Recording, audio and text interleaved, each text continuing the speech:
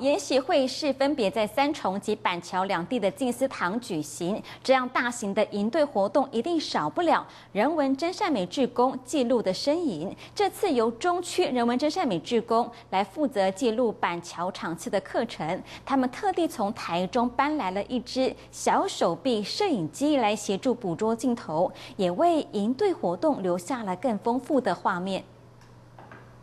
锁上螺丝，套上脚架，再放上摄影机，专业摄影用的小手背大功告成。而这套媲美专业的摄影器材，竟然都是中区人文真善美职工们一点一滴拼凑出来的。看到这样子的影片，哎，师兄里面人正在美团队的师兄里面有人做模具的。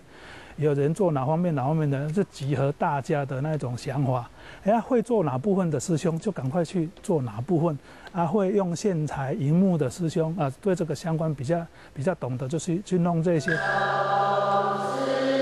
板桥静思堂海外志工正在礼拜法华经，负责文宣记录的中区人文真善美志工第一次搬出这只小手臂摄影机，协助捕捉镜头，希望增加画面的丰富性。这样子的场合哈，坦白讲，这样子的机器哈，也是尽量说尽量缩小一点点啊，尽量说拍几个镜头。我相信远远从台中带这只上来哦，一两个镜头能够留留下这个历史，我相信就非常的足够了。